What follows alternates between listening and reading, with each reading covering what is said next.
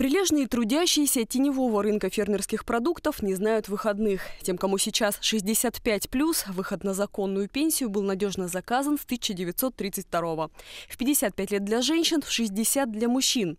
Но статус пенсионера гарантом финансовой безопасности в России никогда не был. Натурпродукт, как основа стабильного бюджета. Вот это по-нашему.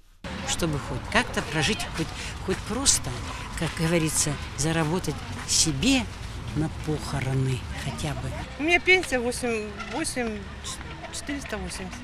Я не знаю, когда, я вообще не знаю, как выживать на такой пенсии. 500 рублей к победе дадут 9 и только и, и радуйся. У меня пенсия вообще 8200. С меня полпенсии за квартплату высчитывают. Ну как вы думаете, на 4 тысячи можно прожить месяц? Прожиточный минимум пенсионера в Омской области 8480 рублей. Средний размер пенсии менее 13,5 тысяч. Если появилось желание рассчитать пенсию для тех, кто помоложе, применяем формулы. Количество накопленных пенсионных баллов умножаем на стоимость пенсионного коэффициента.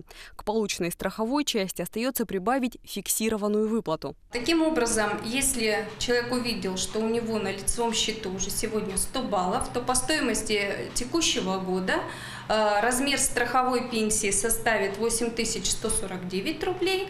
И плюс фиксированная выплата в сегодняшнем размере 4982 и итоговый размер предполагаемой пенсии да, 13 130 рублей.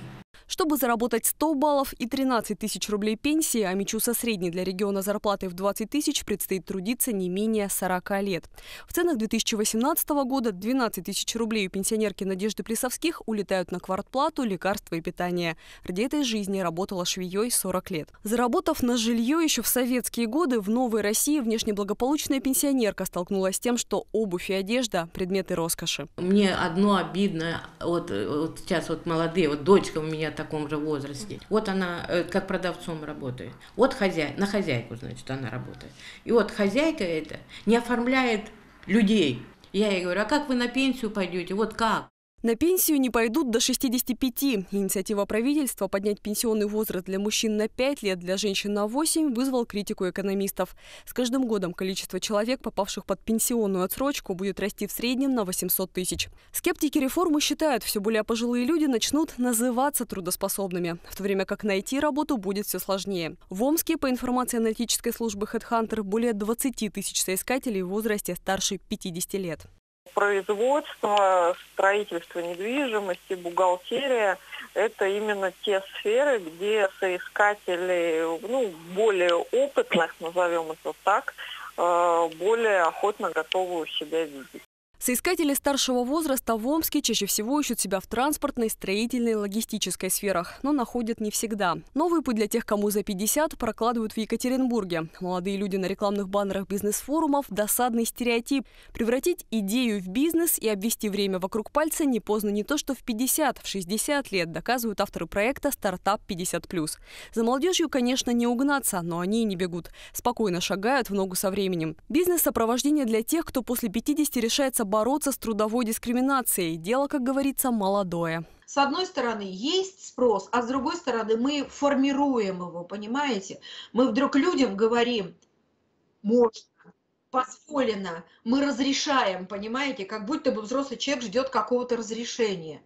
Вот это поразительная вещь совершенно. Вот в апреле 2018 года сейчас мы проводили, когда фестиваль, э, самая взрослая участница, ей было 79 лет. Индивидуальный предприниматель вечно молод. Их пенсионеры и вовсе, кажется, не возьмут. Расчеты с использованием пенсионного калькулятора не оставляют надежды. Если в течение 12 лет в среднем зарабатывать до миллиона рублей, размер страховой пенсии едва превысит 8 тысяч. И, вероятно, будет меньше, чем у наемных работников того же ИП. Остается заняться пенсионной стратегией как можно раньше. Я прям э, все сильнее и сильнее начинаю убеждаться в том, что нужно переходить вот на эту систему европейскую, когда они э, непосредственно помимо обязательных вот этих вот платежей 50 тысяч в год э, можно отчислять самостоятельно вот в эти вот программы, куда ты отчисляешь, отчисляешь постоянно, да, и у тебя еще идет там страхование дополнительное какое-то. Ну, то есть ты полностью сам себе прозрачно строишь систему, грубо говоря, пенсионных отчислений. К пенсионной реформе не подготовлен никто, ни работодатели, ни государство, ни сами работники, независимо от возраста. При этом даже если государство пойдет на уступки и пенсионный возраст увеличится лишь на пару лет, пенсию не на словах, а в денежном выражении еще придется заслужить. Главное теперь действовать на опережение.